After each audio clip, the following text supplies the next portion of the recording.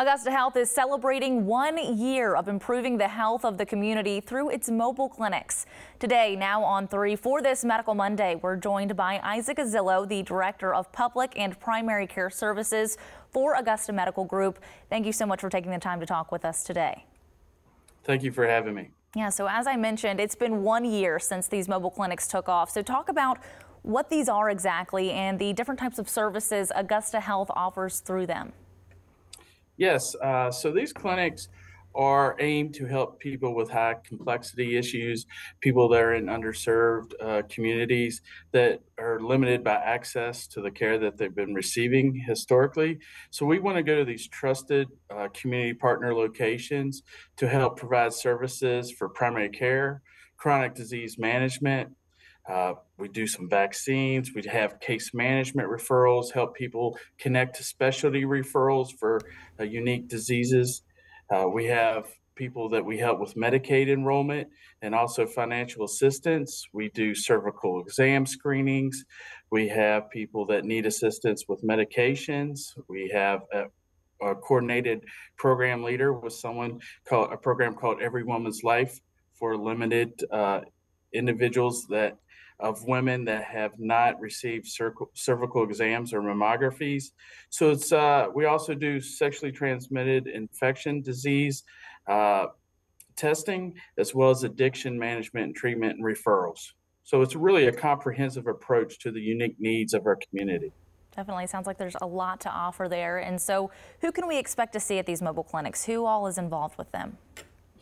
We uh, have a lot of community partners that are involved. Uh, which makes it wonderful in the terms of, of really meeting the needs of our community. You know, what we really aim to do is try to take the burden of healthcare for those who can't access it from limitations of, of finances or, or transportation or mobility issues. Um, so we really find people that haven't been able to access this healthcare and have been limited by the burden of financial reasons.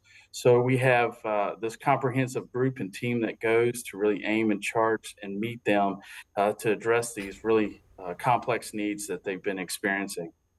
And you talked about improving the access to health care and having these clinics in various locations. Talk about why that is so important and the impacts that are made by offering these services. It's so important to go where they're at because they feel safe most importantly. Uh, they trust the locations that we go to.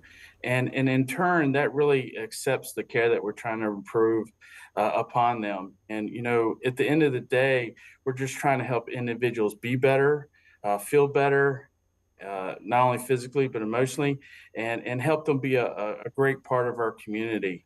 And you know, we're just so fortunate to uh, work for an organization that strives to be the the pillar of of community-based healthcare and lets us go out and provide this work.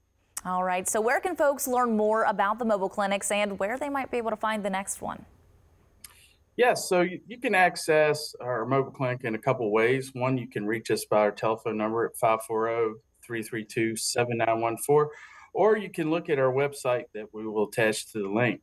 Our next clinic is actually this morning today at the Disciples Kitchen in, in Waynesboro, but play close attention to our website and our, our locations as we go to, to three to four different locations every week. So we are out and about in our community and we would love to see you and help those in need. All right, Isaac, thank you so much again for joining us today. Thank you for having me.